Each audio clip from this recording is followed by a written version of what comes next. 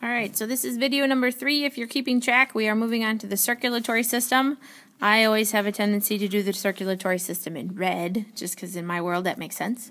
All right, and there are three major things we're going to talk about in our circulatory system. We have our aortic arches, we have our dorsal blood vessel, and our ventral blood vessel. And we'll review these two terms when we get to those. All right. So first of all, some of you may have heard that earthworms have five hearts. That's not entirely true. They have an organ that's referred to as aortic arches. They are responsible for pumping blood. So in other words, they act as a heart. Okay. And yes, if you want to go ahead and abbreviate, you are more than welcome to.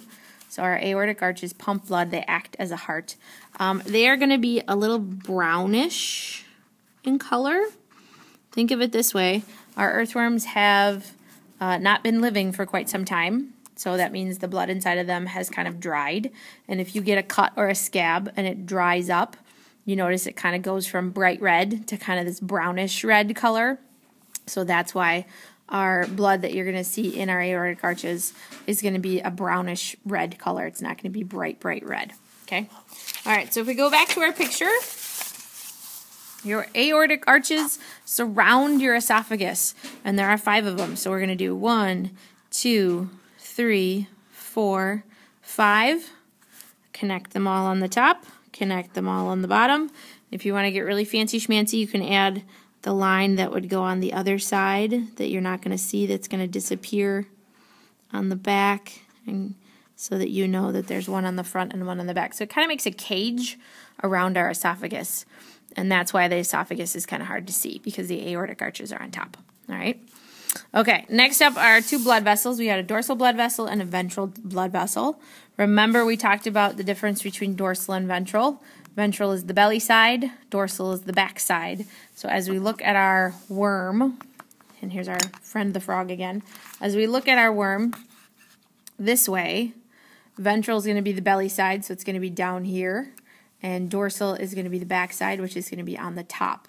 But as you do your dissection, as you cut through, the first thing you're going to see is the dorsal blood vessel because you're going to be cutting right next to it. And you will have to do a little digging to find the ventral blood vessel because it's the belly side. Okay? So our dorsal blood vessel carries blood, obviously, but it carries blood forward to the aortic arches. All right, and then as you can imagine, it loops to the aortic arches and then it passes through the ventral blood vessel to carry blood to the skin and the intestine.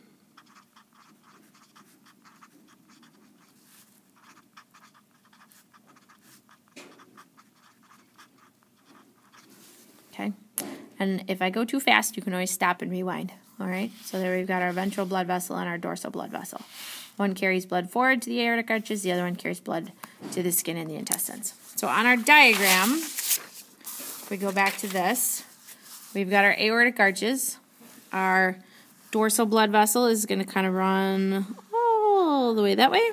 It's going to go all the way to the end, and then it's going to circle back on this side and connect right there. Okay, so it makes one big continuous loop. And like I said, I'm cheating and just kind of stopping here, but it does go all the way to the other end. All right.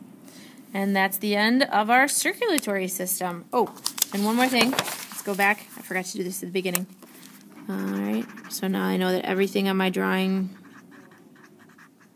that is part of the circulatory system is in red.